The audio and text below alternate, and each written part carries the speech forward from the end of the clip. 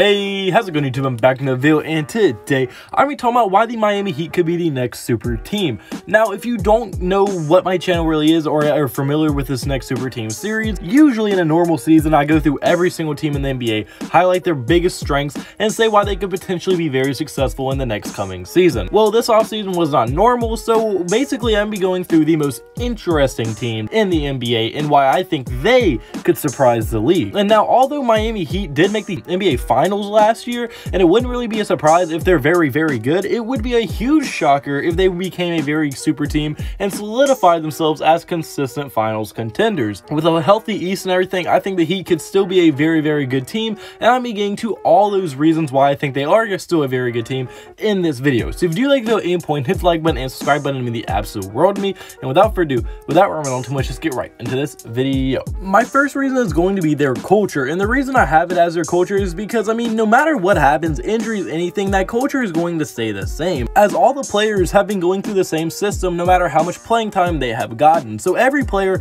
has bought into this system and is fully invested into this culture and system that the Miami Heat do have. So with them having one of the best cultures in the entire NBA, and this their culture being that extremely hardworking every night, players in and out, doesn't matter, next player up, they're they all bought into it, all work extremely hard, no BS type culture, well, that that is a huge, huge, great recipe for success. And they have shown that this culture can lead them very, very far. Because just last year, we saw make to the finals with a less talented roster than teams that they were going up against. Because let's be honest, yes, Bam Adebayo is great. Yes, Jimmy Butler is great. Tyler Herro has tons of upside. Kendrick Nunn has tons of upside. Duncan Robinson has tons of upside. And Jae Crowder. And they had a few other good role players like Goran Dragic, Jae Crowder, and all them. But that is not usually an NBA Finals level team, at least talent wise. But what they did better than everyone, they did all the little things, all the little dirty things that don't show up on the stats. They did all of that. Extremely hardworking, very good on defense, and that is how they scrapped and clawed their way to the NBA Finals. So this culture is pretty much what propelled them for to their success that they had last year. So hopefully they can just keep building on what they had last year, keep building on this culture, keep building on the success, and maybe that can br also bring them to more success going into the future. My second reason for this video is going to be that they have an extremely flexible roster. Not many teams can say that in the NBA, as they can go many ways and still probably find success no matter which way they go. They could either stay packed with this team, see how the young guys develop, and see how much better this team could get with their current situation that they are in. Like, they could easily bank off Duncan Robinson getting better, Tyler Herro becoming an all-star level player, Kendrick Nunn becoming a very good point guard in this league, and all their young guys like Precious Achiuwa and all them developing and they could really go that route and see how much they can develop and see if they're good enough to consistently be a finals contender with that, or they have the assets to make trades and trade for really almost anybody in the NBA. Like we saw, there were already rumors that the Miami Heat were top contenders to trade for James Harden, and I think they could easily do that as they do have tons of assets. I mean, throw Duncan Robinson, Tyler Herro, Kendrick Nunn, and a few picks into that trade, and James Harden could realistically be a trade target for the Miami Heat, and that would be huge. So they could build a super team through just developing their young guys, or they could also build a super team from, um, really just getting in trades because they have so many assets and they could also do a mixture of both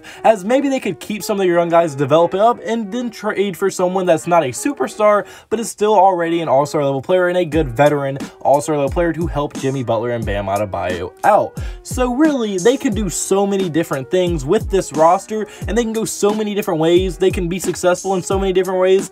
It's just very very fun to watch and it's just gonna be very fun if you are a Miami Heat fan fan. I am not personally a Miami Heat fan, but if you are a Miami Heat fan, it's going to be very fun to watch what the Miami Heat's front office decides to do. Will they stand back and let these young guys develop? Will they trade for a young guy? Will they try to do it right now? Will they do a mixture of both? It is going to be very, very interesting to see how they maneuver this situation and how they do address a very good situation they were able to put themselves in. Now, my third reason is going to be their chemistry. Now, the reason I say their chemistry is because it is a huge, huge factor as we saw with new form super teams last year with Paul George and the Los Angeles Clippers. Although they were very talented and they did have some playoff success, they were not able to really face real adversity because that chemistry was not there and all those players were new together. Now, although the Lakers were in the same boat, LeBron was still with some of those players from last year and also it's LeBron James, one of the best teammates of all time, so the chemistry develops a little bit faster when you have him.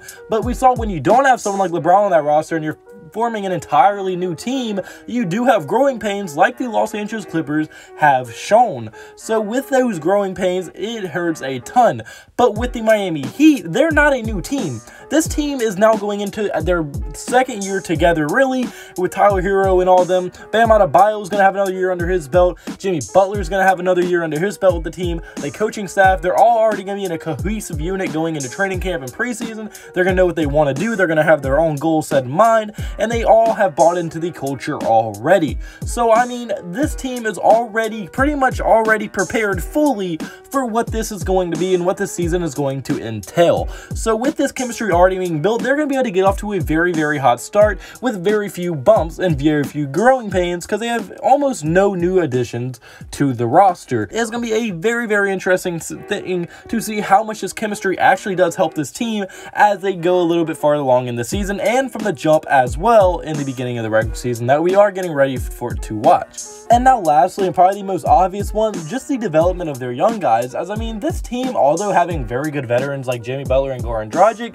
also have very good young guys that are going to develop and going to make this team better as they do develop. As Tyler Herro was just a rookie last year, and although he did look great at moments, he also looked like a rookie at moments. And hopefully Tyler Herro can really start developing and to really start forming into that all-star level player people expect him to be able to grow into. Bam Adebayo already looks like an all-defensive team, all-defensive player of the year type of guy. So, I mean, Bam Adebayo, although he doesn't have tons of development, he still has development he can do as he is still very, very young and he probably will get better defensively, which is scary to think about, and most definitely will get better offensively, which is also pretty scary to um, thing about Duncan Robinson. Hopefully, he can start developing a little bit more things he can put in his bag on the offensive game and becomes more than just a knockdown shooter, which is great. He already serves a role perfectly with the role he has. But if he can start adding more like ball handling, maybe dribbling a little bit, he could be a very, very dangerous player for this offense.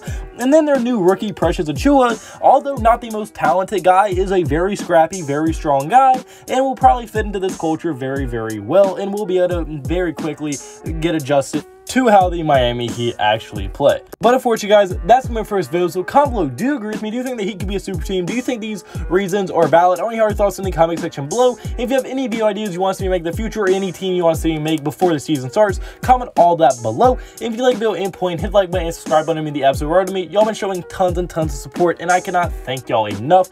So yeah, hit like button and subscribe button. All glory to God. Hope you have blessed day. Have blessed day. So you need to have a blessed day. See you in the next video. Goodbye. Boo. Blah.